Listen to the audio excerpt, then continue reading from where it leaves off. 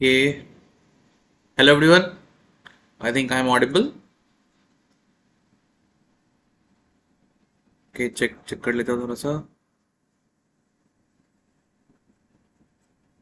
Okay ये रुक जाओ आइडिया लग जाए बस ये ऑडिबल है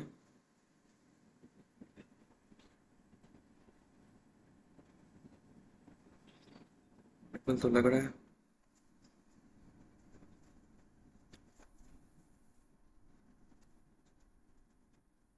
ओके चलो ऑडिबल है या नहीं?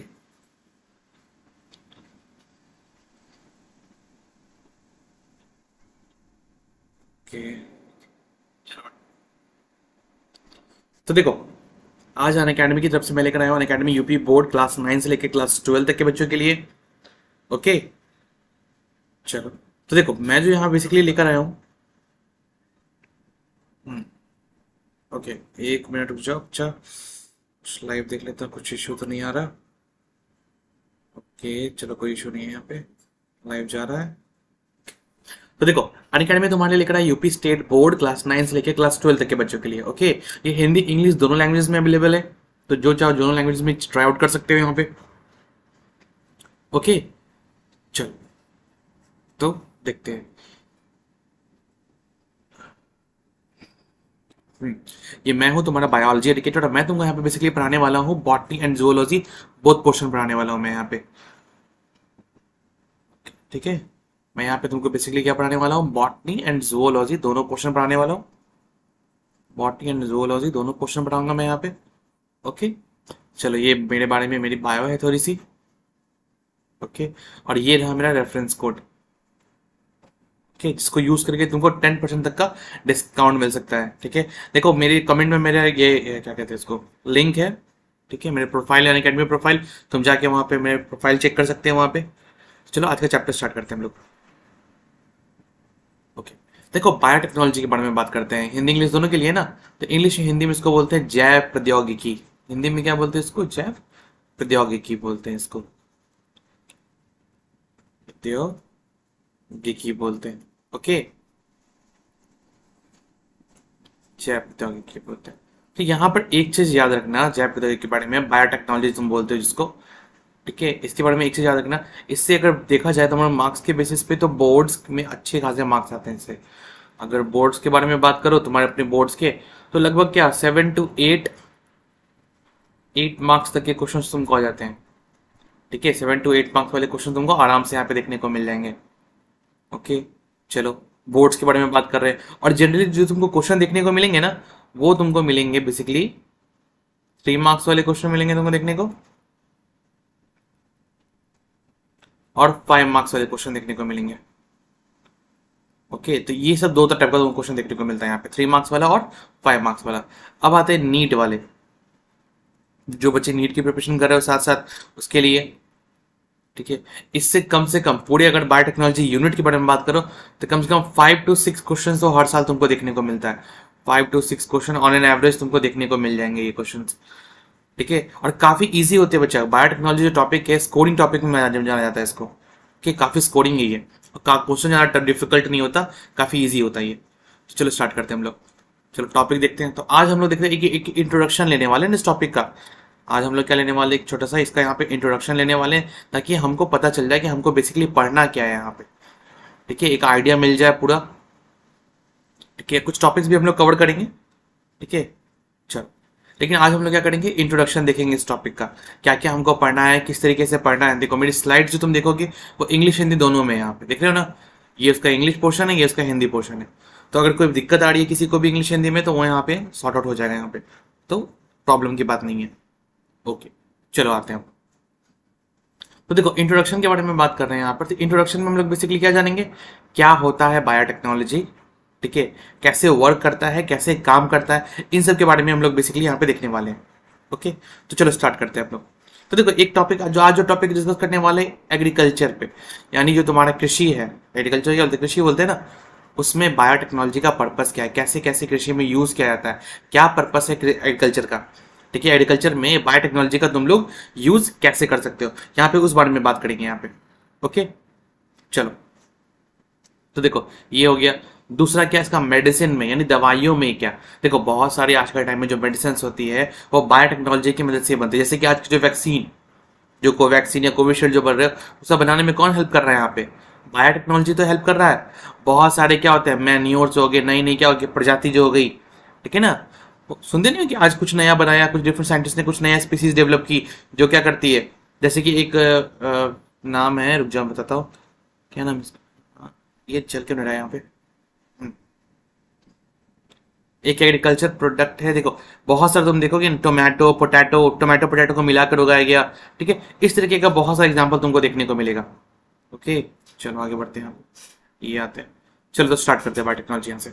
देखो क्या बोल रहा है? Biotechnology is mainly employed for industrial scale production of biopharmaceuticals for biologicals using okay using genetically modified microbes plants and animals यहाँ पर क्या बताने की कोशिश कर रहा है? बायोटेक्नोलॉजी मुख्य रूप से बायोफार्मास्यूटिकल के औद्योगिक पैमाने के उत्पादन के लिए कार्यरत है। ठीक है? यानी क्या बायोफार्मास्यूटिकल्स यानी मेडिसिन के लिए, औद्योगिक, यानी क्या इंडस्ट्रियल पर्पज पे उगाने के लिए क्या कार्यरत है यहाँ पे। ओके, दूसरा, और अनुवांशिक रूप से संशोधित रोगाणुओं। अनुवांशिक रूप से संशोधित रोगाणु का मतलब क्या? अनुवांशित रूप से का मतलब क्या है यहाँ पे? अनुवांशित का मतलब क्या? जेनेटिकली जेनेटिकली मॉडिफाइड माइक्रोब्स यानी हम लोग क्या करते हैं बायोटेक्नोलॉजी में? जो माइक्रोब जो होते हैं, उसको क्या करते हैं? थोड़ा सा मॉडिफाई कर देते हैं, उसके जीन्स में चेंजेस कर देते हैं, ताकि वो हमारे लिए प्रोडक्ट बना सके। Okay okay? इसका प्रोसेस भी हम लोग आगे देखेंगे डोंट वरी ठीक है? क्या करते हैं यहाँ पे? उप करते हैं यहाँ पे। रुक जाओ। हाँ। कवक हो गया, पौधों और जानवरों का उपयोग कर जैविक का अनुप्रयोग, जैव प्रौद्योगिकी में चिकित्सीय। देख रहे हो यहाँ पे ना? मेडिसिन पर्पस भी है, ठीक है? एग्रीकल्चर पर्पस भी है। तो यहाँ तक एक तरह से हम लोग देख पा रहे हैं कि ये जो बायोटेक्नोलॉजी है, इसका एक पर्पस नहीं है, बहुत सारा पर्पस है। बायोटेक्नोलॉजी का क्या है? पर्पस क्या है? बहुत सारा है। जाओ। हाँ चलो ठीक है। एक मिनट, लाइव जा रहा हूँ। जा तो दिख रहा है यहाँ पे। ओके, चलो ठीक है। देखो पर्पस क्या है? बहुत सारा पर्पस है। एग्रीकल्चर में पर्पस है मेडिसिन में पर्पस है। बहुत सारे पर्पस तुम पढ़ोगे मॉलिकुलर डायग्नोसिस के बारे में पढ़ोगे। एग्रीकल्चरल पर्पस है। एक मिनट एग्रीकल्चर पर्पस है। मॉलिकुलर डायग्नोसिस में पर्पस इसका। मॉलिकुलर डायग्नोसिस कहने का मतलब क्या? देखो, आज के टाइम में कोई भी जो ब्लड टेस्ट होता है या फिर क्या कहते हो, बहुत प्रकार के टेस्ट होते हैं ना blood test stool test urine test ठीक है? उससे क्या होता है कभी कभी क्या होता है डिज़ीज़ को पकड़ना उतना आसान नहीं होता, ठीक है? क्योंकि इनकी जो क्वांटिटी होती है, वो बहुत कम होती है ब्लड में, ठीक है? उसको पकड़ना क्या होता है पॉसिबल नहीं होता। लेकिन बायोटेक्नोलॉजी की मदद से कुछ ऐसे ऐसे सिस्टम्स जैसे क्या कहते हैं इलीसा प्रोब एक मिनट हाँ। प्रोब। हम्म, तो ये सब कुछ क्या है? डिफरेंट डिफरेंट क्या है? मेथड्स है जिसका हम लोग यूज़ करके क्या कर सकते हैं? जल्दी टाइम से मतलब क्या कहते हैं? जो टाइम जो लगना चाहिए उससे पहले हम लोग डिज़ीज़ को क्या कर सकते हैं? काउट कर सकते हैं पकड़ सकते हैं। ठीक है? तो बहुत तरह का मेडिसिन यहाँ पढ़ाया हुआ है चेकआउट करने के लिए यहाँ पे। ओके चलो ये सब भी हमको पढ़ना है इसके एप्लीकेशन में। और बताओ। चलो नेक्स्ट आते देखो नेक्स्ट क्या है? Three biological research areas of biotechnologies are देखो, तीन रिसर्च एरिया है बायोटेक्नोलॉजी में क्या है? बेसिकली क्या तीन रिसर्च एरियाज़ होती है बायोटेक्नोलॉजी के लिए, जिसको हम लोग फॉलो करते हैं। पहला क्या है? Providing the best catalyst in the form of improved organisms ठीक है? जनरली आई माइक्रोब और प्योर इंजाइम ठीक है? यानी कहने का मतलब क्या? बेहतर जीव के रूप में सर्वोत्तम उत्प्रेरक उद्बान को प्रदान करना। ठीक है? ओके नेक्स्ट है क्या? सर्वोत्तम उत्प्रेरक उत्पन्न करना। दूसरा, आमतौर पर एक सूक्ष्म जीव या शुद्ध एंजाइम आमतौर पर क्या? एक सूक्ष्म जीव और शुद्ध एंजाइम देख रहे हैं यहाँ पे?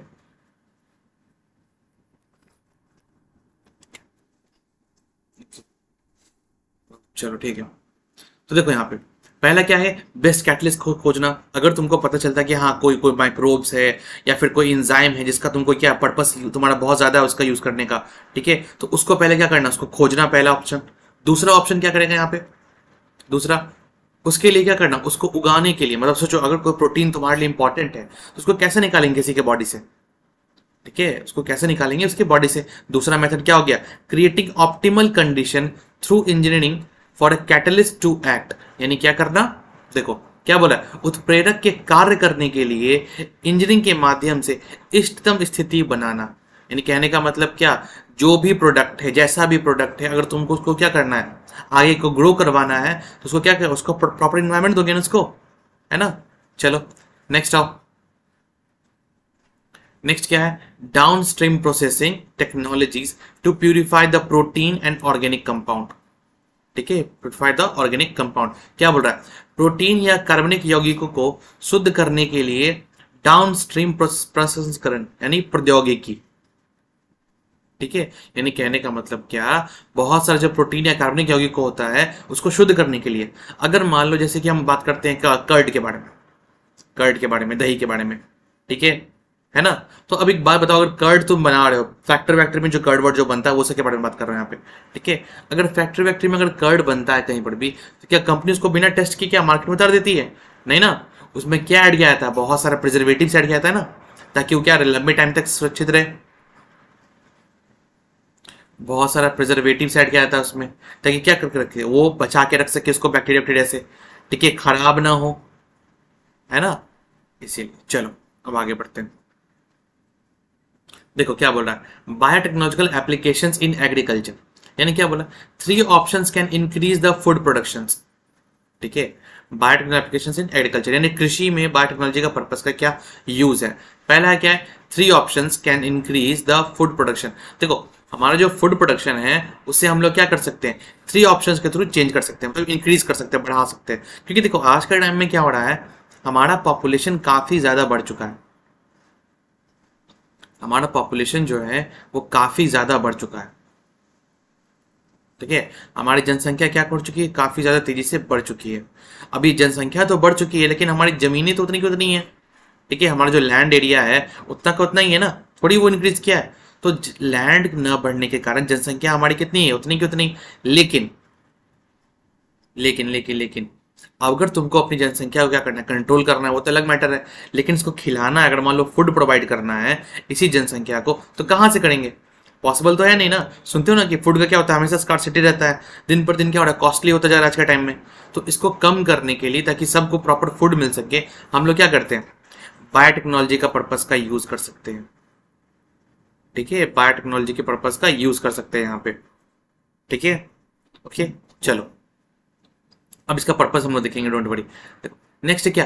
एग्रो केमिकल बेस्ड एग्रीकल्चर दूसरा है ऑर्गेनिक एग्रीकल्चर जिसको ऑर्गेनिक फ़ार्मिंग भी बोलते हैं. और तीसरा है genetically engineered crop based agriculture अब देखो यहाँ पे क्या बोल रहा है। ये देख रहे हो? कृषि रसायन आधारित कृषि. दूसरा है जैविक कृषि. ठीक है ऑर्गेनिक फ़ार्मिंग और तीसरा है अनुमानसिक रूप से इंजीनियरिंग फ़सल पर आधारित कृषि. ठीक है? आप एक मिनट रुक जाओ। देखो क्या बोल रहे हैं। The green revolution succeeded in increasing the food production हरित क्रांति पढ़ा है ना हम लोगों ने? वही है, ठीक है? But it was not sufficient to feed the growing human population ठीक है feed the growing human population यहाँ पर क्या बताने की कोशिश कर रहा है कि जो ग्रीन रेवोल्यूशन है या फिर हरित क्रांति जिसको तुम बोलते हो हरित क्रांति जिसको तुम बोलते हो ठीक है? Succeeded in increasing food production ये क्या करता है? सक्सीड करता है, कब? इंक्रीज करने में फ़ूड प्रोडक्शन को। बट ये सफिशियंट नहीं है। क्या है? सफिशियंट नहीं है पूरा। अगर फ़ीड करना हो क्या? ह्यूमन पॉपुलेशन को बढ़ाना हो तो। सॉरी ह्यूमन पॉपुलेशन को खिलाना हो तो। आज की आबादी देख रहे हो ना सेवन बिलियन के लमसम में है। ठीक है ना? हमारी आबादी कितनी होगी इंसानों की? सेवन बिलियन के लमसम में। लैंड वहीं के वहीं है। ठीक है? देखो तो बाद में हम लोगों ने क्या हुआ? जब स्टार्टिंग में हम लोग था क्या था? आज़ादी के बाद। जब हम लोगों ने क्या किया? खेती बाड़ी स्टार्ट किया तो हमको पता चला कि हमारी पॉपुलेशन तो तेज़ी से बढ़ रही है। लैंड वहीं के वहीं है। तब हम लोगों ने क्या किया? ग्रीन एवोल्यूशन में हम लोग बेसिकली किया क्या था? इम्प्रूव्ड क्रॉप वरायटी का यूज़ करना चालू किया। जो क्रॉप की जो वरायटी थी नई नई वरायटी को लाना चालू कर दिया। इम्प्रूव्ड क्रॉप वराइटीज को लाना स्टार्ट किया। ठीक है? पेस्टिसाइड्स वीडीसाइड्स ये सबको सुने हो ना? क्रॉप वेराइटीज हो गया। ठीक है? उसके बाद क्या किया? पेस्टिसाइड वीडीसाइड इन सभी चीज़ों का यूज़ करना शुरू कर दिया। लेकिन एक बार बताओ, ये जो फर्टिलाइजर्स हो गए, ये जो पेस्टिसाइड्स हो गए या फिर वीडीसाइड जो होते हैं, उनका अगर हम यूज़ करते हैं तो वो क्या करते हैं? कल को हमारे इन्वायरमेंट को ही नुकसान पहुंचाते हैं ना? है ना? नुकसान भी पहुँचा रहे हैं, और दूसरा क्या? सारे लोगों का पेट नहीं बढ़ा अभी तक, क्योंकि पॉपुलेशन तो क्या दिन पर दिन इंक्रीज करता जा रहा है। तो ये भी इनफ नहीं हो रहा था। ग्रीन रिवोल्यूशन भी क्या हुआ? अभी हम लोग के लिए इनफ नहीं बचा। ठीक है? चलो तो अब देखो क्या हुआ। क्या बोल रहा है? The use of improved crop varieties ठीक है? Better management better management practice and use of agrochemical such as fertilisers and pesticides are responsible to increase the yields of crop ये कहने का मतलब क्या? जो क्रॉप वैरायटी थे इंप्रूव क्रॉप वैरायटी थे, वो बेटर मैनेजमेंट प्रैक्टिस पहले के हम लोग टाइम में क्या था? बस खेती बाड़ी कर दिया, छोड़ दिया। लेकिन आज के टाइम में हम लोग क्या करते हैं? हम लोगों ने क्या किया? इंप्रूव क्रॉप वैराइटीज का यूज़ करना शुरू किया। बेटर मैनेजमेंट प्रैक्टिस शुरू कर दी वहाँ पे। अच्छे अच्छे केमिकल्स पेस्टिसाइड फर्टिलाइज़र इन सब का यूज़ कर दिया। और इन सब के यूज़ करने से क्या हो गया? हमारी जो कृषि थी, ठीक है? यानी हमारा जो एग्रीकल्चर सेक्टर था, वो काफ़ी बूम तो किया, लेकिन अभी भी हम लोग क्या कर पा रहे हैं? उतने लोगों का पेट नहीं बढ़ पा रहे हैं। क्या बोला? The farmers of developing countries are unable to afford them due to higher cost of chemicals. देखो जो फर्टिलाइजर्स होता है, या जो पेस्टिसाइड्स होता है, ये काफ़ी क्या होते हैं, काफ़ी महँगे होते हैं, ठीक है? तो हर सारे फार्मर्स उसको अफोर्ड नहीं कर सकते यहाँ पे, ओके? देखो, यहाँ पे हिंदी में पढ़ते हैं उसको। हिंदी में क्या बताने की कोशिश कर रहा है? हरित क्रांति खाद्य उत्पादन बढ़ाने में सफल रही, लेकिन यह बढ़ती मानव आबादी के लिए, मानव मानववादी को खिलाने के लिए पर्याप्त नहीं थी। क्या नहीं थी? पर्याप्त नहीं थी। उन्नत फ़सल किस्मों का उपयोग बेहतर प्रबंधन पद्धतियाँ और कृषि रसायनों जैसे उर्वरकों और कीटनाशकों का उपयोग फ़सलों की उपज बढ़ाने के लिए जिम्मेदार है। ठीक है? क्लियर कोई दिक्कत यहाँ तक? चलो। अब देखो क्या बोला? विकासशील देशों के किसान कृषि रसायनों का उच्च लागत के कारण उन्हें वहन नहीं करने में असमर्थ है। समझ में आ गया यहाँ पे? ठीक है? यानी जो कंट्री डेवलप्ड है, वहाँ पे क्या है? किसान जो है क्या है? वो प्रॉपर लाइबल है। वो अपने खरीद सकते हैं उतने उतने कॉस्टली कॉस्टली जो है फर्टिलाइजर्स पेस्टिसाइड सब। लेकिन यहाँ के जो कंट्री हम लोग हमारी कंट्री के जो लोग हैं उतना क्या है? किसान उतने कैपेबल नहीं है उतनी कॉस्टली कॉस्टली लेने के लिए। ओके चलो। अब देखो यहाँ पे आते हैं। नेक्स्ट बोल रहा है we should minimise the use of fertilisers एक मिनट रुक जाओ। हाँ। क्या बोल रहा है? We should minimise the use of fertilisers and chemicals chemicals so that their harmful effects on the environment are reduced. क्या बताने की कोशिश कर रहा है कि हम लोग क्या करना चाहिए? फर्टिलाइजर्स और केमिकल्स पे जो हमारा एफर्ट है, उसको कम करना चाहिए। उसको कम करने की कोशिश करनी चाहिए। क्यों? ताकि क्या हो जाए? The use of genetically modified product यानी कि हम लोग क्या करना पड़ेगा? ताकि हमारा इन्वायरमेंट बचा सके ना? अगर तुम सोच के देखो, अगर हम लोग जिस हिसाब से फर्टिलाइजर्स का यूज़ कर रहे हैं केमिकल्स का यूज़ कर रहे हैं तो बहुत सारा साइकिल्स बर्बाद हो रहा है ना। पहले तो हमारा इन्वायरमेंट बर्बाद हो रहा है। हमारा जो इन्वायरमेंट है, वो बर्बाद हो रहा है। कैसे? तुम सोच के देखो, जो भी फर्टिलाइज़र खा रहे हो, जो भी फुल वल, जो भी बना रहे हो उससे, जो भी पैदा हो रहा है, वो तुम्हारे बॉडी में तो जा रहा है, तुमको नुकसान पहुँचा ही रहा है। साथ ही साथ क्या कर रहा है, तुम्हारा वाटर साइकिल ठीक है? तुम्हारे वाटर साइकिल को खराब करता है लैंड की क्वालिटी को खराब कर देता है, ठीक है? तो बहुत सारे प्रॉब्लम्स को कॉज करता है ये। फर्टिलाइज़र पेस्टिसाइड वेडिसाइड ये सब वगैरह वगैरह, ठीक है? और इसका एक सॉल्यूशन क्या है कि हम लोग कैसे क्रॉप्स को यूज़ करें? जेनेटिकली मॉडिफाइड क्रॉप्स को यूज़ करें। ठीक है? अनुवांशिकी से जो नया नया क्रॉप्स बना रहे हैं, उनका यूज़ करें। इससे क्या होगा? हमारे क्रॉप्स क्या रहेंगे? हमको उनको ज़्यादा पेस्टिसाइड्स फर्टिलाइज़र या फिर वेडिसाइड देने की ज़रूरत नहीं पड़ेगी या कम ज़रूरत पड़ेगी। देखो, यहाँ पे एक पॉइंट बोल रहा है। देखो क्या लिखा हुआ है? हमें उर्वरकों और रसायनों का उपयोग कम से कम करना चाहिए, ताकि पर्यावरण को क्या कर सके? हानि ना पहुँचे। है ना? लिखा हुआ ना? ताकि पर्यावरण पर उनके हानिकारक प्रभावों को कम किया जा सके। क्लियर उसके बाद क्या बोला? आनुवांशिक रूप से संशोधित फ़सलों का उपयोग इस समस्या का एक अच्छा समाधान है। ठीक है? यानी क्या बोल रहे हैं यहाँ पे? आनुवांशिक रूप से संशोधित फ़सलों का उपयोग। यानी क्या जेनेटिकली मॉडिफाइड जो फसल्स हैं, उसका अगर यूज़ करेंगे तो इस समस्या को हम लोग क्या कर सकते हैं? टाल सकते हैं, समाधान कर सकते हैं। ओके? नेक्स्ट आओ नेक्स्ट क्या है? आनुवांशिक इंजीनियरिंग तकनीक के उपयोग के माध्यम से जोड़ तोड़कर, जोड़ तोड़ द्वारा पौधों बैक्टीरिया और कवक और जानवरों के जीन को बदल दिया गया है। ठीक है? इन जीवों को अनुवांशिक रूप से संशोधित जीव या फिर जीएमओ कहा जाता है, यानी जेनेटिकली मॉडिफाइड ऑर्गेनिज्म बोलते हैं इसको। रुक जाओ, यहाँ पे लिख देता हूँ। जी इसको हम लोग क्या बोलते हैं? जेनेटिकली मॉडिफाइड ऑर्गेनिज्म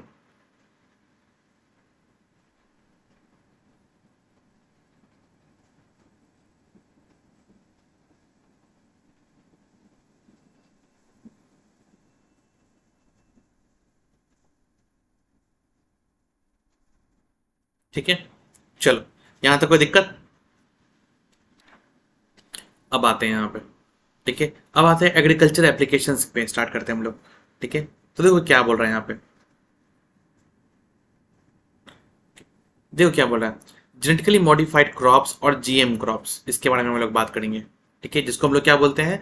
अनुवांशिक संशोधित फ़सलें या फिर इसको जीएम फ़सलें बोलते हैं जेनेटिकली मॉडिफाइड फ़सलें बोलते हैं, ओके? आओ। क्या बोल रहा है? They represent transgenic crops that have one or more ठीक है? One or more useful foreign genes or transgenes ठीक है? GM crops has two advantages GM crops के पास क्या है? टू एडवांटेजेस हैं जेनेटिकली मॉडिफाइड क्रॉप्स के पास। पहला any genes of any organisms or a synthetic gene can be incorporated ठीक है? Genotypic change is precisely control अब देखो क्या होता है यहाँ पे। क्या बोल रहा है? किसी भी जीव या सिंथेटिक जीन के किसी भी जीन को शामिल किया जा सकता है। ठीक है? यानी किसी और के बॉडी में किसी और का जीन सोच के देखो। है ना कितना डिफरेंट है ना? उसके बाद क्या होता है? जीनोटाइपिक परिवर्तन को हम लोग क्या करते हैं? ठीक से नियंत्रित करते हैं। देखो। ओके क्लियर यहाँ पे हम लोग क्या पढ़ रहे हैं? वे ट्रांसजेनिक फ़सलों का प्रतिनिधित्व करती हैं, जिनमें एक या अधिक विदेशी उपयोगी विदेशी जीन या ट्रांस जीन होते हैं। जीएम फ़सलों के दो फ़ायदे। ठीक है? ओके? आओ। नेक्स्ट देखो क्या बोल रहा है। The technique is superior to breeding programmes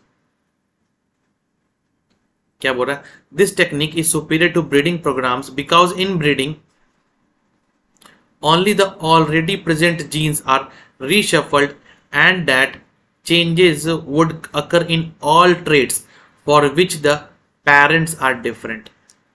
ठीक है? यानी क्या बताने की कोशिश कर रहा है? यह तकनीकी प्रजनन कार्यक्रमों से बेहतर है।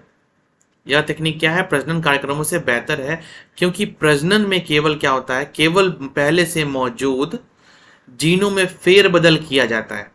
और यह परिवर्तन उन सभी लक्षणों में होगा जिनके लिए माता पिता अलग है। ओके नेक्स्ट देखो। नेक्स्ट क्या है? ट्रांसजेनिक पौधों के उत्पादन में डीएनए प्रौद्योगिकी का अनुप्रयोग, ठीक है? ट्रांसजेनिक पौधों को विकसित करने के लिए पुनः संयोजन डीएनए ठीक है? तकनीकी का उपयोग किया जा रहा है। क्लियर कोई दिक्कत यहाँ तक? यहाँ तक समझने में किसी को कोई दिक्कत है चलो नेक्स्ट आते हैं। प्लाज्मिड ऑफ़ एग्रोबैक्टीरियम टूमेफिकेंस एक मिनट रुक जाओ।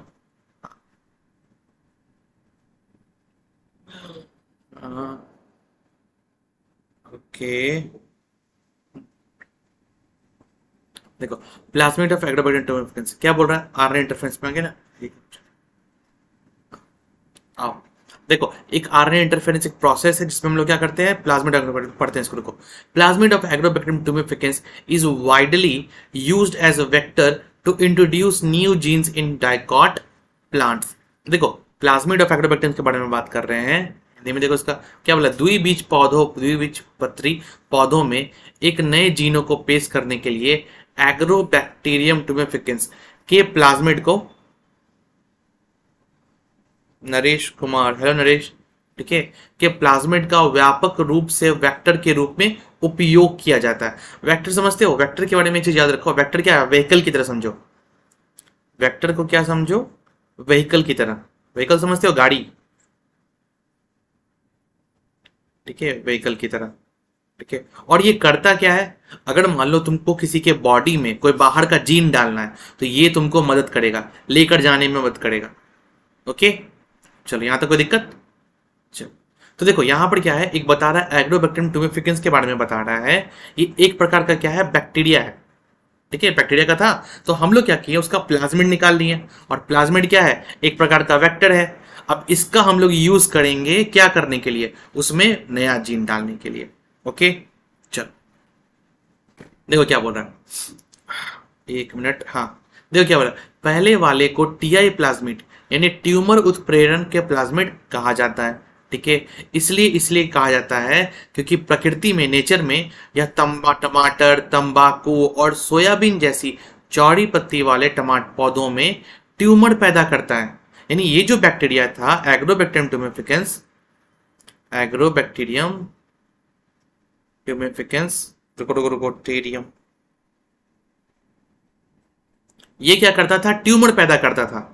ट्यूमर समझते हो जो रूट्स होते हैं उनकी जड़ों में। देखो, पौधों की जो जड़ें होती है ना, उसकी जड़ों में क्या करता है? छोटे छोटे ट्यूमर्स पैदा करता था। पौधों को नुकसान पहुँचता था उससे।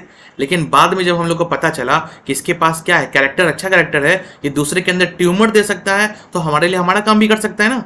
तो हम लोगों ने क्या किया? इसका जो टी आई प्लाज्मिट था, वो टी आई प्लाज्मिट था। इस प्लाज्मिट का नाम क्या था? टी आई प्लाज्मिट ठीक है? तो हम लोगों ने क्या किया? इसमें से ये टी आई जीन बाहर निकाल दिया। जो टीआई वाला जो जीन था, जिससे क्या था ट्यूमर आता था, वो हम लोगों ने क्या कर दिया? बाहर निकाल दिया। अब जीन ही बाहर निकाल दिया। और उसकी जगह पे क्या किया हम लोगों ने? उसकी जगह पे वो जीन जो हमको उसको देना था पौधों को, वो जीन डाल दिया। मान लो उस जीन का नाम था क्या? हमारा जीन है ना, इंसान का। तो ह्यूमन वाला जीन था। जो क्या किया? हम लोगों ने हमारे काम का था, वो डाल दिया। यानी अब ये जो पौधा था, अब ये जो बैक्टीरिया था, जो दूसरे पौधों को क्या था? ट्यूमर देता था। अब ट्यूमर देने के बजाय क्या करेगा? हमारे काम का जो जीन होगा, वो पौधे में देगा। तो हो गया ना हमारा फ़ायदा? ट्यूमर का ट्यूमर नहीं मिला और प्लस हमारा काम का काम हो गया, कुछ करने की ज़रूरत नहीं पड़ा। है ना? तो सेम काम यहाँ पर यही हो रहा है। ओके चलो, यहाँ तक समझने में कोई दिक्कत? इसका एग्जाम्पल्स याद रखना बच्चा, जो बोर्ड्स बोर्ड वाले भी और नीट वाले भी याद रखना। इसका एग्जाम्पल्स पूछ चुका है तुम्हारा बोर्ड्स में। ठीक है? शायद 2017 या 18 का क्वेश्चन था ये। अगर बोर्ड्स के प्रिपरेशन कर रहे हो तो बोर्ड वाले बच्चे हो तो। ओके तो ये बोर्ड्स में इसका एग्ज़ाम्पल पूछा था, एक मार्क्स में सीधे सीधे पूछ लिया था। एक या दो मार्क्स में आया था शायद। ओके वन या टू मार्क्स में था, यहाँ पे लिख देता हूँ वेरी वेरी इंपॉर्टेंट ओके और आर इंटरफेरेंस आया था, तुमको ये टॉपिक एन इंटरफेरेंस ये आया था तुमको तीन मार्क्स में। तुमको इसका पूरा प्रोसेस लिखना था यहाँ पे। चलो, कोई दिक्कत यहाँ तक? यहाँ तक समझने में कोई दिक्कत किसी को? समझ में आ गया ना? एग्रोबैक्टीरियम टूमिफिकेंस के बारे में एक प्रकार का बैक्टीरिया था, जिसके प्लाज्मिड में क्या था? ट्यूमर देने का पावर था। तो हम लोगों ने क्या किया? इसके प्लाज्मिड को निकाल के, उसके ट्यूमर वाले जो जीन था, उसको निकाल लिया और उसमें अपना जीन दे दिया। तो हमारा काम हो गया। क्लियर चलो। अब देखो, ये तो देखो, वही चीज़ है। उसी चीज़ को यहाँ पे बताया डिटेल करके। ये देखो ट्यूमर दिख रहा है यहाँ पे। ये तुम्हारा एनसीआरटी का पिक्चर है। ये देखो, यहाँ पे ट्यूमर है ना? ये देखो, ये वाला यहाँ पे ट्यूमर है। ठीक है? यानी पहले क्या देता था? ये बैक्टीरिया ट्यूमर देता था।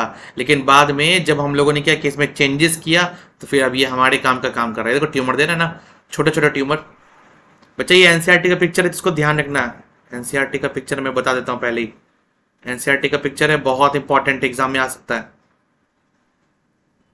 ओके चलो, आगे बढ़ते हैं।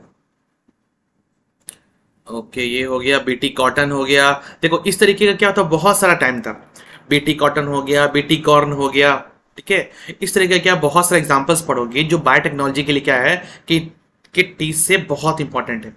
अगर हम बोलें कि अगर बायोटेक्नोलॉजी का बहुत सारा पर्पस है तो गलत नहीं होगा। तुम सोच के देखो एग्रीकल्चर में पर्पस में है। एग्रीकल्चर में तुम्हारे काम आ रहा है मेडिसिन पर्पस में काम आ रहा है। कभी कभी आगे पढ़ोगे कि फ्यूल बनाने में। आगे जब पढ़ोगे तो कुछ बहुत सारा फ्यूल जो होता है इथानोल प्रोडक्शन में ठीक है? उसको हम लोग बोलते हैं, आगे पढ़ाऊँगा मैं। उसमें भी कभी कभी काम आता है। एनर्जी प्लांटिंग जिसको हम लोग बोलते हैं। ठीक है? तो इसका एक पर्पस नहीं है, बच्चा, बहुत सारा पर्पस है। जैसे कि मैंने देखो, आपने देखा ना कि एग्रीकल्चर में काम आया। उसके बाद देखा था उसको मेडिसिन में भी इसका पर्पस है। ये देख लो ये एग्रीकल्चर में काम आता है। यही ये बीसी बीटी जिसको बोलते हैं। हाँ बैसिलस थुरंजेनिसिस का बैक्टीरिया देख रहे इस पिक्चर में? इस पिक्चर में देख रहे कि बैक्टीरिया क्या आ गया? पहले आता था, पहले कीड़ा मकोड़ा, वो सब। इंसेक्ट सब आता था और हमारे फ़सलों को नुकसान पहुंचाकर चला जाता था। लेकिन बाद में हम लोगों ने क्या किया, उस बैक्टीरिया में, ठीक है, एक बैक्टीरिया मिला हमको सॉइल में, उस बैक्टीरिया का हम लोगों ने क्या निकाल लिया? जीन निकाल लिया क्राइजीन जिसको बोलते हैं, और उसको डाल दिया पौधों में। अब जैसे ही कोई कीड़ा उसको खाने का कोशिश करता है तो कीड़ा क्या होता है? खत्म हो जाता है। ओके? चलो। नेक्स्ट आप देख रहे हैं यहाँ पे? बहुत सारा मेथड यहाँ पे। ओके ओके उसके बाद देखो मेडिसिन के बारे में बताता हूँ यहाँ पे। मेडिसिन का पर्पस यहाँ पे बहुत ज़्यादा इंपॉर्टेंट है, ठीक है? अब देखो क्या बोला हीरोडीन के बारे में जान लो एक छोटा सा। एक मिनट हेरोडीन एक बार इसको पढ़ो एक minute.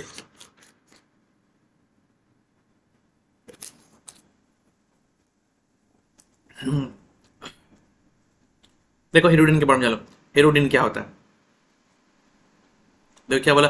A gene including hirudin a protein that prevents blood clotting ठीक है? देखो हीरोडीन क्या है? एक प्रकार का प्रोटीन है अ जीन इनकोडिंग हीरोडीन जो क्या करता है? प्रोटीन जो रक्त के थक्के को रोकता है। क्या रोकता है? रक्त के थक्के को रोकता है ये हीरोडीन प्रोटीन जो है। बच्चा, बहुत इंपॉर्टेंट प्रोटीन है हीरोडीन याद रखना। ठीक है? को रासायनिक रूप से संश्लेषित किया जाता है। ठीक है? रासायनिक रूप से क्या करते हैं? संश्लेषित करते हैं। और फिर ब्रासिका नेपस में स्थानांतरित किया जाता है। कहाँ पे? ब्रासिका नेपस में। देखो, हीरोडीन बेसिकली निकालता कौन है? लीच। लीच देखा है तुमने पिक्चर ये देखो, यहाँ पे एक पिक्चर दिख रहा है, लीच का जोक। जोक बोलते हो तुम लोग उसको? ठीक है, ये ये देखो, लीच। ठीक है, लीच जब शक करता है ना तुम्हारे बॉडी से ठीक है? तो ब्लड का क्लॉटिंग क्या हो जाता है? वो रुक जाता है। ब्लड क्लॉट नहीं कर पाता। ठीक है? ऐसा क्यों? क्योंकि लीच तुम्हारे बॉडी में एक केमिकल रिलीज़ करता है, जिसको बोलते हैं हीरोडीन जिससे ब्लड की क्लॉटिंग रुक जाती है। और इस हीरोडीन का बहुत सारा मेडिसिनल पर्पस है। इस हेरोडीन का क्या है? बहुत सारा मेडिसिनल पर्पस है। बट हम लोग बार बार तो जोक से तो निकाल नहीं सकते ना। जोक तो पैदा कर नहीं सकते और बार बार उससे तो निकाल नहीं सकते। तो हम लोगों ने क्या किया? इस हेरोडीन के जीन को एक्सट्रैक्ट करके है ना? ये मान लो हेरोडीन का जीन है। तो हम लोगों ने क्या किया? इसके जीन को निकाल दिया। ये देखो। ये रहा इस हेरोडीन का जीन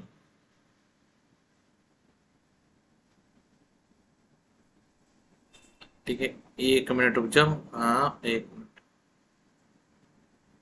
हाँ तो हम लोगों ने क्या किया? इस हेरोडीन के जीन को निकाल लिया और जीन को निकालकर हम लोगों ने क्या कर दिया इसको? डाल दिया कहाँ पर? ब्रासिका नेपस एक पौधा जो था, ये देखो, ये जो पौधा है ना, इसमें डाल दिया।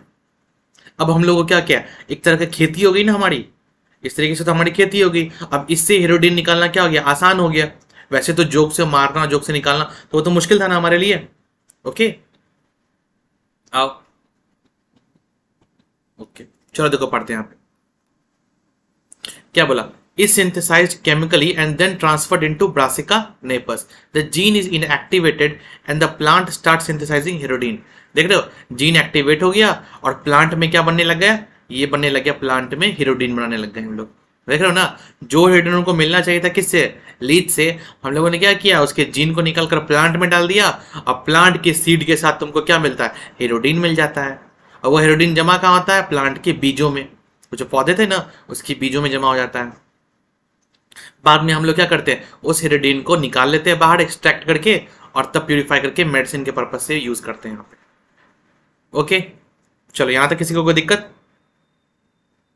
यहाँ तक समझने में किसी को कोई प्रॉब्लम आ रही है यहाँ पे? एनीवन ठीक। देखो क्या बोला, यह जीन पौधे में सक्रिय होता है और बीजों में जमा होने पर हेरोडीन को संश्लेषित करता है।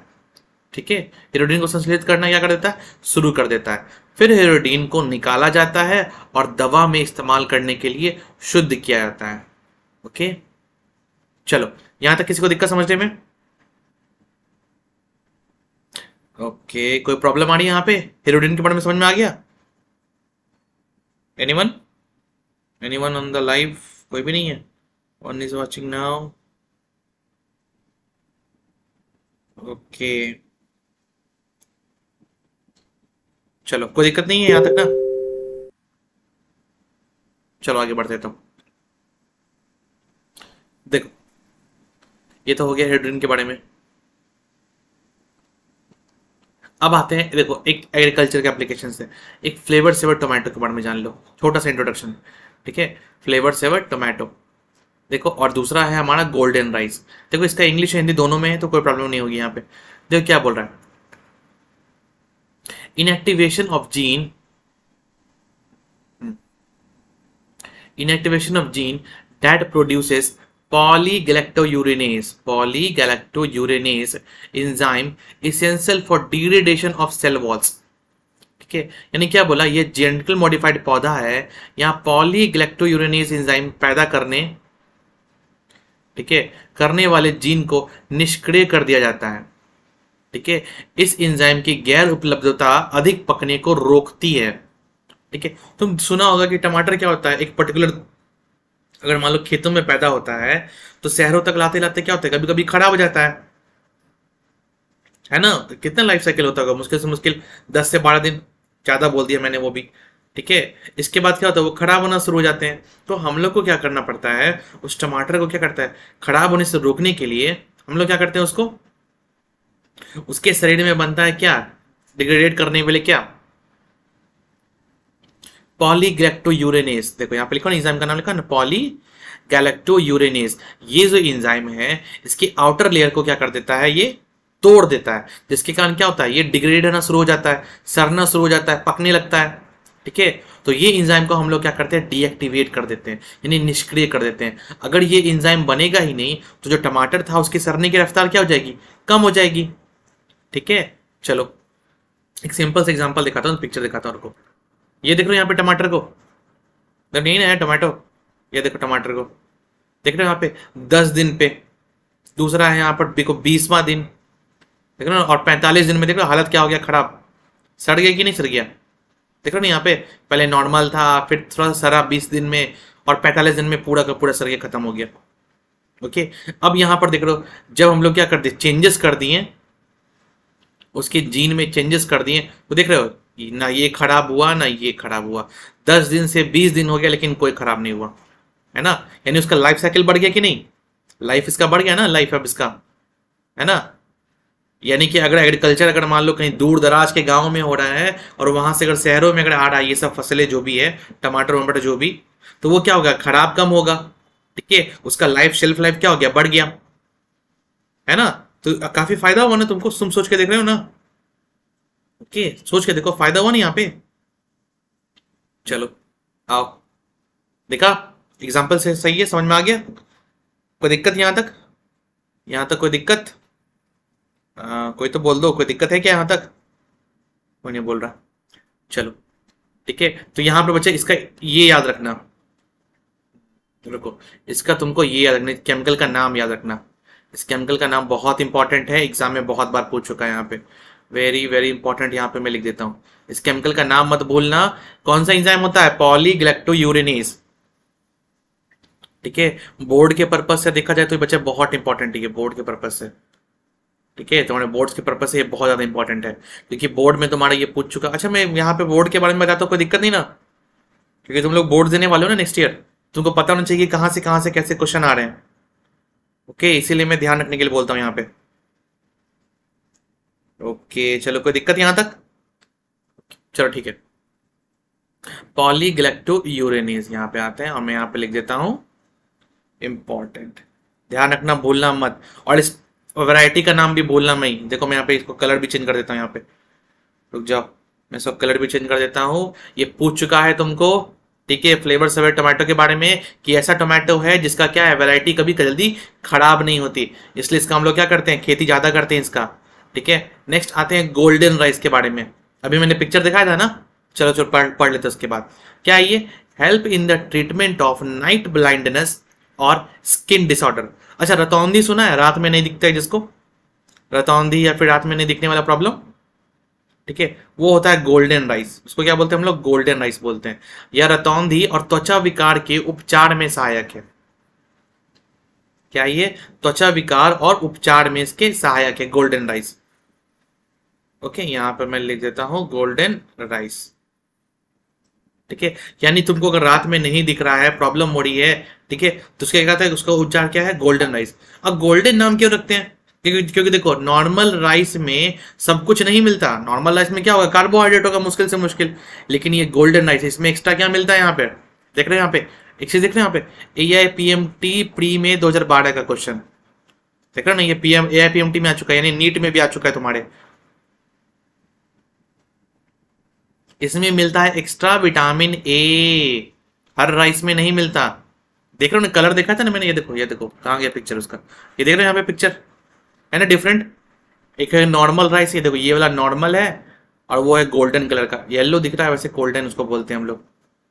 ठीक है, ये येलो राइस है। सॉरी गोल्डन बोलना चाहिए ना? गोल्डन राइस बोल लो इसको गोल्डन राइस इसमें क्या होता है एक्स्ट्रा विटामिन ए होता है, जो तुम्हारी आँखों के लिए क्या कहता है, काफ़ी इंपॉर्टेंट होता है। ओके यानी अगर तुम राइस खाओगे तो तुम्हारा क्या हो जाएगा? तुम्हारा उसका भी पर्पस पूरा हो जाएगा यहाँ पे। ओके चलो बताओ, यहाँ तक कोई दिक्कत? आ, बच्चे को यहाँ तक कोई दिक्कत समझने में एग्ज़ाम्पल से तो कोई क्लियर नहीं ना। एग्जाम्पल्स ही पूछता है इस चैप्टर में बेसिकली इसलिए मैंने एग्ज़ाम्पल पहले डील कर दिया। ओके चलो कोई यहाँ तक कुछ समझने में कोई प्रॉब्लम नहीं आ रही है ना? चलो ठीक है आगे बढ़ते तो हेरोडीन समझ गया देखो भाई बच्चा ब्रासिका नेपस यही है तुम्हारा ब्रासिका नेपस यहाँ पे नाम भी लिख देता हूँ ब्रासिका नेपस ब्रासिका नेपस बोलते हैं इसको।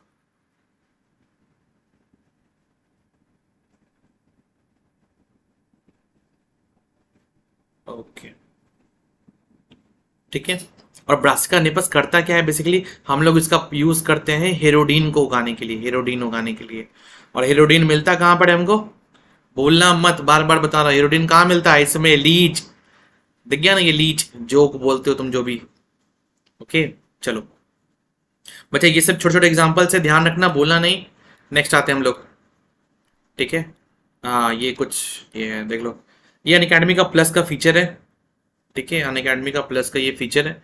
ठीक है रेज हैंड का ऑप्शन है। देख रहे हो पोल्स भी यहाँ पे तुम सेंड कर सकते हो। तुम चाहो तो मेरी क्लासेस को ट्राई आउट कर सकते हो स्पेशल क्लासेस में। ओके अन अकेडमी की जो प्लस क्लासेस है, वहाँ पे ट्राई आउट कर सकते हो अन अकेडमी की। ठीक है, ये प्लस के लिए है कुछ। ठीक है, ये आस्केट डाउट का फीचर भी है। ये सब के लिए बच्चा स्पेशल प्लस सबके लिए। कोई भी बच्चा क्लास में वहाँ पे डाउट वाउट पूछ सकते हो यहाँ पे। तो ये अन अकेडमी का स्पेशल फीचर है। चाहो तो ट्राई आउट ज़रूर करना है यहाँ पे। ओके ये देख रहे हो? ट्राई करने का तरीका दिया हुआ यहाँ पे। डाउट्स एंड सॉल्यूशंस है यहाँ पे। ठीक है? आज के डाउट का फीचर है यहाँ पे। ओके ये देखो यहाँ पे। छोटा सा क्वेश्चन भी अपना क्या कर सकते हो? पोस्ट आउट कर सकते हो यहाँ पे। ओके चलो। अब आते हैं बायोटेक मेडिसिन के पर्पज पे। अच्छा मेडिसिन के मेडिसिन से याद आया। आज के टाइम में तुम लोगों ने क्या वैक्सीन लिया होगा? कोवैक्सीन कोविशील्ड सबने लिया होगा ना? ऐसा तो नहीं होगा किसी ने लिया होगा। किसी ने किसी ने सबने तो लिया ही होगा। ठीक है? तो वो सबको बनाना है इतनी हाई अमाउंट में। सोच रहे हो ना, इतनी बड़ी जनसंख्या है तुम्हारी इंडिया की। तो बनाना तो आसान होगा नहीं ना, सबके लिए मेडिसिन बना दें हम लोग। ये तो पॉसिबल है नहीं। तो बिना बायोटेक के पर्पस के हम लोग अच्छी अच्छी मेडिसिन ज़्यादा हैवी क्वांटिटी में नहीं बना सकते हैं। चलो, आओ दिखाता हूँ कैसे। जैसे देखो, एक एग्ज़ाम्पल बता दो इंसुलिन के बारे में। इंसुलिन इंसुलिन सुना है बच्चा? इंसुलिन के बारे में सुना है किसी ने? इंसुलिन का पर्पस बता सकते हो कोई भी? एनीवन क्या नाम है? नरेश। नरेश इंसुलिन का पर्पस बता सकते हो? इंसुलिन क्या होता है? आ, कोई भी? हम्म, नहीं। तो देखो इंसुलिन का यूज़ होता है डायबिटीज़ में। ठीक है? जिन लोगों को डायबिटीज़ की प्रॉब्लम होती है वो क्या होता है? डायबिटीज़ का मतलब भी क्या हो गया कि इंसुलिन उनके बॉडी में नहीं बनता है। ठीक है? उनके बॉडी में क्या होता है? इंसुलिन बनता ही नहीं है। अब उनसे इंसुलिन बॉडी में बनेगा नहीं तो हम लोग क्या करेंगे? बाहर से लेंगे, है ना?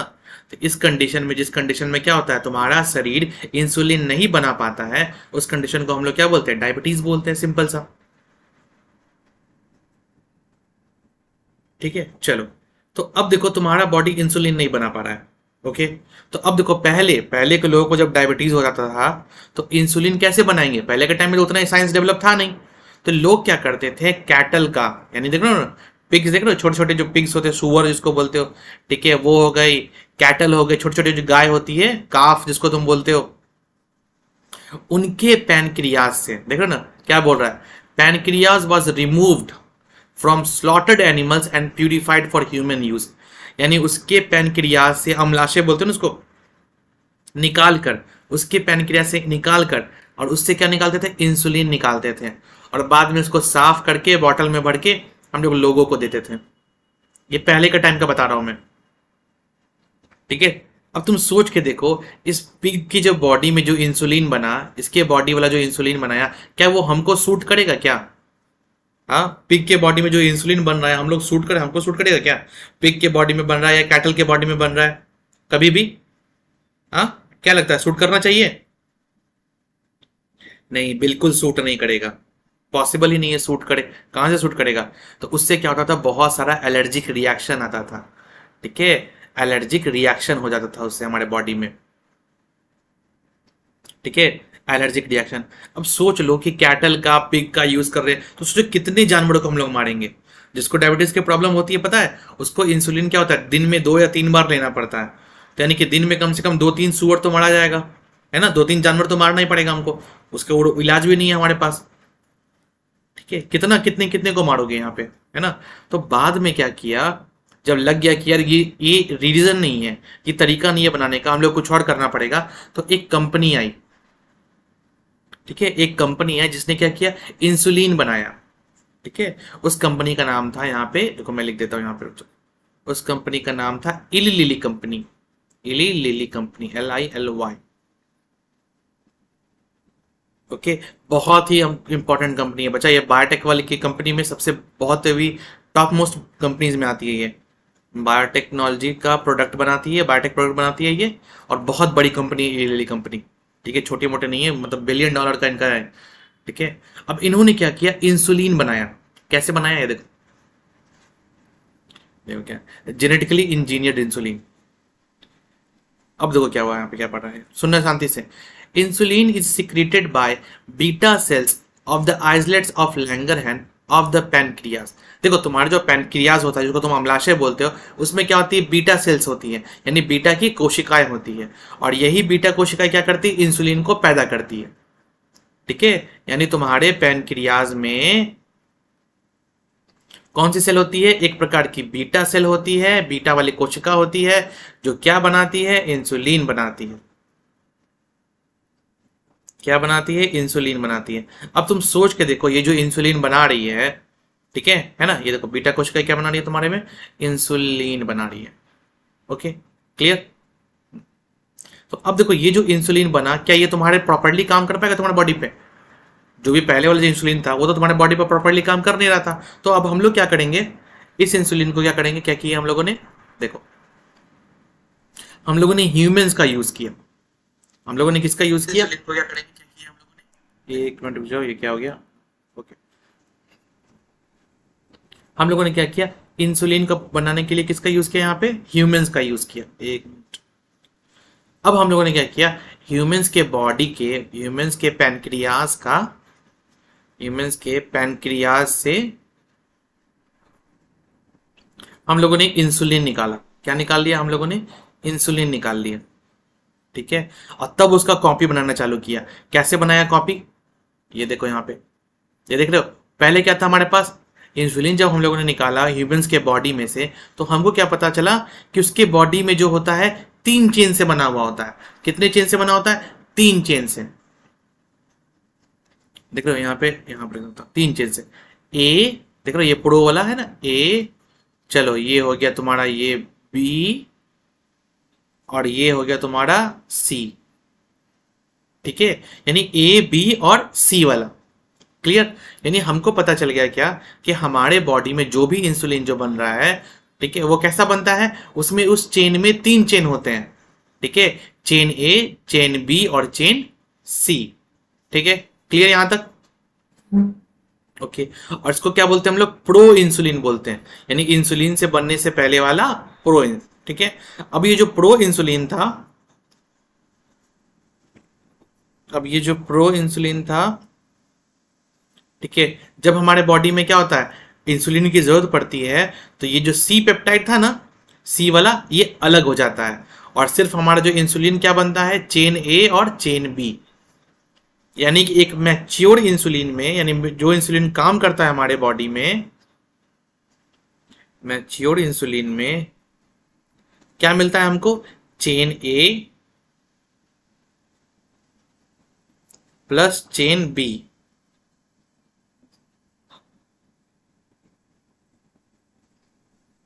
ठीक है? मैच्योर इंसुलिन में क्या देखने को मिलता है? चेन ए और चेन बी ठीक है? और जो प्रो इंसुलिन होता है, यानी कि क्या? इंसुलिन तो बन गया, लेकिन ज़रूरत होगी तब ना बॉडी ने करेगा। तो उसको हम लोग बोलते हैं प्रो इंसुलिन ये देख रहे हैं यहाँ पे प्रो इंसुलिन यानी तुम्हारा जो बीटा कोशिका जो होता है, वो क्या बनाता है? प्रो इंसुलिन बनाता है। और प्रो इंसुलिन तभी तक प्रो इंसुलिन रहेगा जब उसको बॉडी में ज़रूरत नहीं रहेगी। जब लग गया कि बॉडी में कुछ को ज़रूरत है प्रो इंसुलिन की ज़रूरत है इंसुलिन ज़रूरत है तो प्रो इंसुलिन को हम लोग क्या कन्वर्ट कर देते हैं? इंसुलिन में। कैसे? सी वाला देख रहे हो? बाहर निकल गया। ये जो सी पेप्टाइड था, ये बाहर निकल गया। है ना? सी पेप्टाइड क्या हो गया? बाहर निकल गया। ओके? क्लियर कोई दिक्कत यहाँ तक? सी पेप्टाइड क्या हो गया यहाँ से? बाहर निकल गया। और हमारे पास क्या बचा? ए चेन बचा। ए और बी चेन यहाँ पर एक चीज़ याद रखना। यहाँ से क्वेश्चन आता है क्या? इसका अमीनो एसिड बताओ। ए चेन में कितना अमीनो एसिड होता है? बी चेन में कितना अमीनो एसिड होता है? और सी में कितना अमीनो एसिड होता है? क्लियर ये सब क्वेश्चन बहुत इंपॉर्टेंट है। ध्यान रखना है इसको। ओके चलो पढ़ लेते एक बार थोड़ा सा, क्या बोल रहा है यहाँ पे? ये तो हो गया ना? अब पढ़ो यहाँ पे।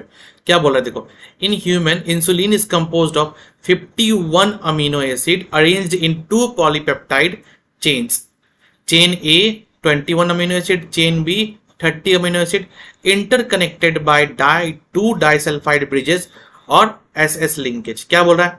मानव में इंसुलिन 51 अमीनो एसिड से बना होता है, जो दो पॉलीपेप्टाइड श्रृंखलाओं में व्यवस्थित होता है। ए में 21 अमीनो एसिड और बी में 30 अमीनो एसिड्स होते हैं। दो पॉलीपेप्टाइड श्रृंखलाएँ जो दो डाइसल्फाइड पुलो या डबल एसफाइड लिंकेज द्वारा परस्पर जुड़ी हुई हैं। ओके? क्लियर यहाँ तक? यहाँ तक कोई दिक्कत? है ना? चलो। देखो क्या बोल रहा है। हार्मोन प्रो इंसुलिन नामक भंडारण उत्पादक में विकसित होता है। हार्मोन क्या होता है? प्रो इंसुलिन नामक भंडारण उत्पादक से विकसित होता है। उत्तरार्ध में तीन श्रृंखलाएँ ए बी और सी होती है। ठीक है? उनमें से 33 अमीनो एसिड वाली सी चेन इंसुलिन बनने से पहले हटा दी जाती है। क्लियर ठीक है?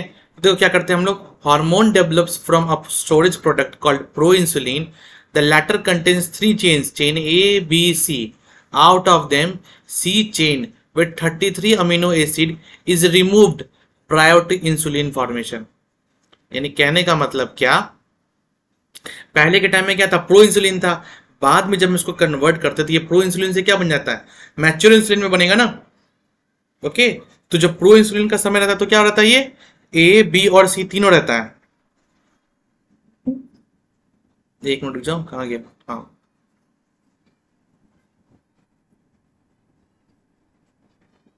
ठीक है? हाँ। ओके तो प्रो इंसुलिन की जब फॉर्म में रहता है, तब इसके पास क्या रहता है यहाँ पे पिक्चर देखो ना? देख रहे हैं यहाँ पे? चेन ए भी है चेन बी भी है और चेन सी भी है। लेकिन जैसे ही प्रो इंसुलिन से ये इंसुलिन में कन्वर्ट हुआ तो ये क्या बन गया ये? देख रहे हो ना? चेन ए भी है और चेन बी भी है। ठीक है? लेकिन सी हट गया। सी क्या हो गया? अलग हो गया यहाँ से। ओके कोई दिक्कत यहाँ तक? चलो तो इसी तरीके से हम लोग देखते हैं क्या हो गया। ये हो गया। देख रहे हो ना, ये बनाने वाली कंपनी का नाम क्या था? एली कंपनी था। देख रहे हो यहाँ पे इन्होंने क्या किया? इंसान के जो बॉडी से इंसुलिन निकाला, उसका क्या बनाया? इंसुलिन से क्या बनाया? सिंगल बनाया ना? ओके आओ। अब देखो insulin is started from the harvested bacteria ठीक है, ये चीज़ है, ठीक है। इसके अलावा भी क्या होता है? बहुत सारा हार्मोन्स होता है बच्चा। ह्यूमन ग्रोथ हार्मोन हो गया जीन थेरेपी हो गया, ये सब डिफरेंट डिफरेंट टाइप्स का हार्मोन्स और मेडिसिन का हम लोग यूज़ करते हैं यहाँ पे। ओके देख रहे हो gene therapy for as medicine purpose के लिए जिसका हम लोग यूज़ करते हैं। ओके देख रहे हो ना, जिन बच्चों को क्या कहते हैं, कुछ जेनेटिक डिसऑर्डर होता है, उसको भी क्योर करने के लिए हम लोग यहाँ पे बायोटेक्नोलॉजी का यूज़ कर सकते हैं। है ना? देख रहे हो, फिर आते हैं मॉलिक्यूलर डायग्नोसिस के ऊपर। ठीक है?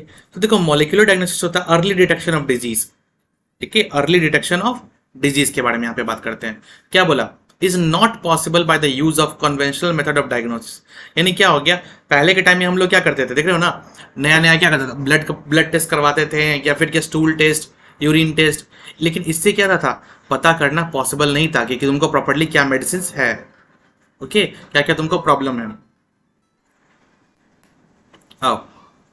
नेक्स्ट आते हैं पीसीआर पीसीआर का व्यापक रूप से उन बैक्टीरिया या वायरस के गुणन का उपयोग किया जाता है, जिनकी संख्या कम है। बहुत इंपॉर्टेंट बच्चा पीसीआर बहुत क्वेश्चन आता है पीसीआर से। ठीक है? और क्या बोल रहे हैं? और रोग के लक्षण तभी तक दिखाई नहीं दे रहे। पूर्व का उपयोग संदिग्ध एड्स रोगियों में एचआईवी का पता लगाने के लिए किया जाता है। समझ में आ रहा है? एचआईवी तुमको पता है ना कि काफ़ी क्या होता है, काफ़ी छोटे अमाउंट में रहता है। ठीक है? उसको पकड़ना क्या होता है? बहुत मुश्किल होता है। इसलिए पीसीआर का भी यूज़ किया जाता है? तुमने सुना होगा कि क्या कोरोना वायरस का जो चेकअप होता है, उसमें हम लोग पीसीआर का यूज़ करते हैं। ओके चलो। नेक्स्ट देखो देखो पीसीआर का कंपोनेंट है। है ना? पीसीआर का process denaturation annealing extension और प्राइमर तो काफ़ी इंटरेस्टिंग टॉपिक है बच्चा, ये सब। ठीक है? बायोटेक में मेडिसिन का पर्पस बता रहे हैं यहाँ पे। प्रोब कैसे बनता है? डीएनए कैसे चेक किए उसमें? डी नेचर कैसे करना है? इलिशा का पर्पस भी हम लोग को पढ़ना है यहाँ पे। ठीक है? एंटीजन एंटीबॉडी कैसे एक्ट करता है इलिशा कैसे काम करता है, ये सब हम लोग को देखना है। फिर ट्रांसजेनिक एनिमल्स के बारे में पढ़ना है हम लोगों को।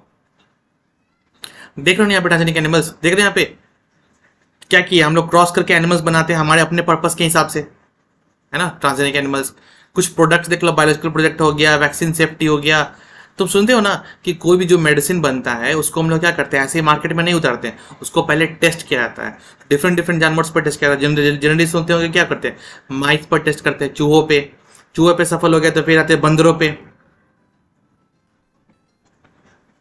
ठीक है? चलो। अब आते हैं। ट्रांसजेनिक जानवरों के लाभ, जैविक उत्पाद वैक्सीन सुरक्षा, रासायनिक सुरक्षा परीक्षण, रोग का अध्ययन। ओके। उसके बाद देखो transgenic animals that produce useful biological products can be created by the introduction of the portion of DNA which codes for particular product like different like human protein ठीक है? जैसे देखो, यानी कहने का मतलब क्या? कि ट्रांसजेनिक प्रोडक्ट्स का मतलब क्या? बहुत सारा, जानवर से तुमको बहुत सारे प्रोडक्ट्स मिलते हैं, जिसका हम लोग यूज़ करते हैं डिफरेंट डिफरेंट फॉर्म्स में।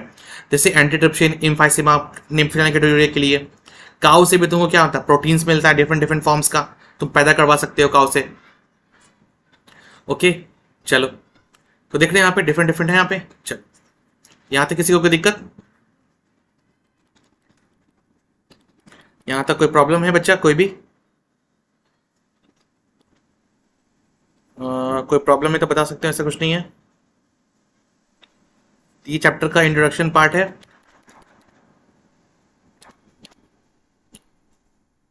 ओके ओके तो देखो बच्चा, यहाँ पे मैथ एंड साइंस के बहुत सारे बैचेस चल रहे हैं हाफ़ ईयरली बैचेस हैं, ठीक है? फुल सिलेबस बैचेस भी हैं यहाँ पे half yearly and full syllabus batches batches Hindi और इंग्लिश दोनों में होती है। काफ़ी अच्छे अच्छे टीचर्स हैं यहाँ पे ओके तो ट्राई आउट कर सकते हैं यहाँ पे। ओके ये रहा मेरा reference code S K U P ten जिसका यूज़ करके तुमको टेन परसेंट तक का डिस्काउंट मिलेगा। तुम लॉग इन कर सकते हो अकेडमी में इसके थ्रू ये रहा मेरा प्लान्स ठीक है? Twelve month fifteen month eighteen month का प्लान है, दूसरा तुम्हारा twenty four thirty six forty month का प्लान है, एक में मिलता है फोर मंथ का बेनिफिट एक में मिलता है सिक्स मंथ का बेनिफिट ओके चलो। ये रहा एक और, देखो अन अकेडमी में क्या मिला है तुमको? एक ऑफ़र आया है, ठीक है? तुम उसका यूज़ करते हो प्लस सब्सक्रिप्शन लेते हो, ठीक है? नाइन मंथ का लेते हो तो तुमको टेन परसेंट का प्लस फाइव परसेंट का मिलता है। और अगर ट्वेल्व मंथ का लेते हो तो टेन प्लस टेन यानी ट्वेंटी परसेंट का सब्सक्रिप्शन तुमको मिल सकता है यहाँ पे। ओके? तो मेरा रेफरेंस कोड ये रहा एस के यूपी टेन का तुम यूज़ करके देखो तुमको मिलेगा ज़रूर। ओके? चलो। ये देखो कोर्सेज एंड बैचेज है टेस्ट सीरीज़ है। ओके? अन अकेडमी में बहुत सारे बेनिफिट्स हैं यहाँ पे। ओके? okay, देख लो टेस्ट है टेस्ट सीरीज़ है तुम प्रॉपर यूज़ कर सकते हो यहाँ पे। देख लो सैटरडे संडे का क्या है? फ्री टेस्ट सीरीज़ है सैटरडे संडे को होते हैं यहाँ पे। तुम ट्राई आउट कर सकते हो। दोनों के लिए प्लस वाले बच्चों के लिए भी है और फ्री वाले बच्चों के लिए भी है। ओके ट्राई करके देखो अगर पसंद आए तो। चलो बताओ आज के टाइम में आज की कोई क्वेरीज कोई ऐसी चीज़ जो समझ में नहीं आई हो? एनीवन किसी की कोई क्वेरीज है? Hmm, कोई क्वेरीज है तो बताओ बच्चा कुछ भी। कोई नहीं बताना। चलो तो ठीक है ये देखो अकेडमी का प्लान है फोर्टी एट मंथ का प्लान है दूसरा एक वन मंथ का प्लान है। ट्राई आउट कर सकते हो। फोर्टी एट मंथ का प्लान पड़ता है तुमको फाइव हंड्रेड का और वन मंथ का प्लान पड़ता है तुमको फिफ्टीन हंड्रेड का। और ये रहा मेरा reference code S K U P ten use करने पर तुमको टेन परसेंट तक का डिस्काउंट मिल सकता है। ओके डिफरेंट डिफरेंट मेथड है। बताओ कोई क्वेरीज है बच्चा किसी की भी? किसी की भी क्वेरीज है तो मैसेज में डाल सकते हो यहाँ पे। या तो मेरे प्रोफ़ाइल पे जा सकते हो। ऊपर में मेरे प्रोफ़ाइल की लिंक दी हुई है। ओके मेरे स्पेशल क्लासेस भी है प्लस क्लासेस भी है। अगर पूरे बायोटेक्नोलॉजी पढ़ना चाहते हो तो उसके लिए भी काफ़ी ज़्यादा प्लस क्लासेस है। ठीक है मेरी स्पेशल क्लासेस का टाइमिंग बता देता हूँ यहाँ पे। मेरी स्पेशल क्लासेस चलती है क्लास इलेवेंथ की। क्लास इलेवेंथ की चलती है three thirty to four thirty three thirty to four thirty है। ओके और स्पेशल वाली क्लास ये क्लास इलेवेंथ की। ये है क्लास इलेवेंथ के लिए। और क्लास ट्वेल्थ की है तुम्हारी फाइव से सिक्स फाइव से सिक्स ये होती है क्लास ट्वेल्थ की। ओके? तो चलो इसको ट्राई आउट कर, सकते हो यहाँ पे। तो चलो आज के लिए हम लोग इतना ही रखते हैं। ठीक है? Thank you bye